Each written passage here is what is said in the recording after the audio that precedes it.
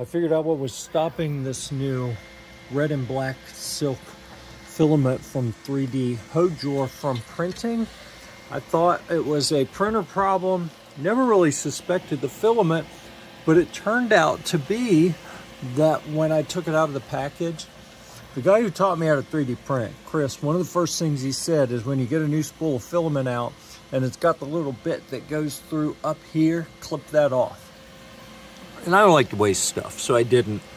And what happened was when it came around here, it jammed and wouldn't go in all the way. So I had to pull it out and cut it.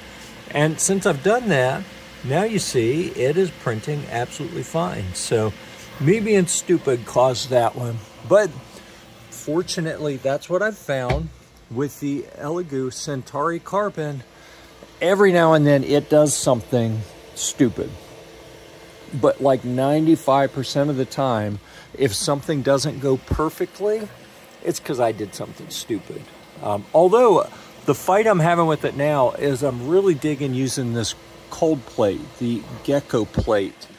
And I'm having temperature issues where the printer wants to set it at 60 degrees and I have to bring it down to whatever the ambient chamber temperature is to get it to start printing. That's getting really aggravating because it's going to be 99 degrees today and 101 tomorrow.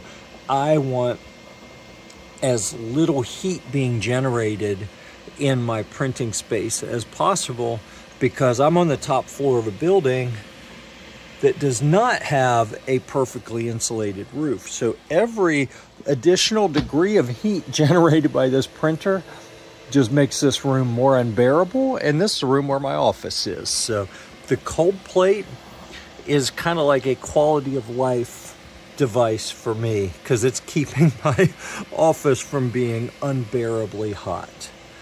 Yep. And I've been killing time so because I wanted to see how this silk black and red PLA printed and that first layer is going down so slow. I, I don't think we're going to see any meaningful results. I'll, I'll make another video and show you how it did.